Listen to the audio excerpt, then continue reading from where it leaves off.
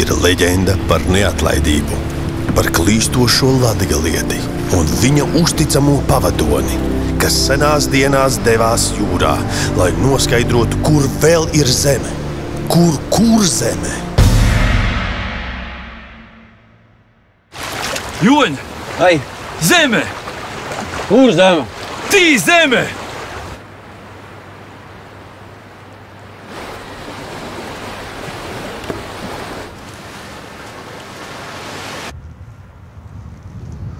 Kad tie neatgriezās, tika uzskatīts, ka vīri ir zuduši uz laikiem. Bet ļaudis mēļo, ka abi klejotāji nav padavušies un vēl šobrīd klīst gar jūras krastiem, uzrunādami vietējos un mēģinādami uzzināt, Ā, Kas te ir?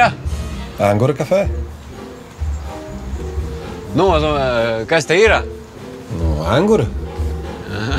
Es jums karnevāls šodien. Jā, jā, jā. Pa- Paļģis, la- la- lava, la- vasals. Kas ir? Vesels. Vasals, vasals. Kuis brīdē? Tā kā, jā, čivs. Skurēnī tu skrīji, nu paļai, nu mēs jau, protams, Joņ, nu, mazas, nu, ko skurēji, mēs jau skrīgi, lai, Jēzus, Joņ, nu, nu, lai arī pēc kārtējās neveiksmes kurzemes meklējumos varētu nolaisties airi un gribas teikt.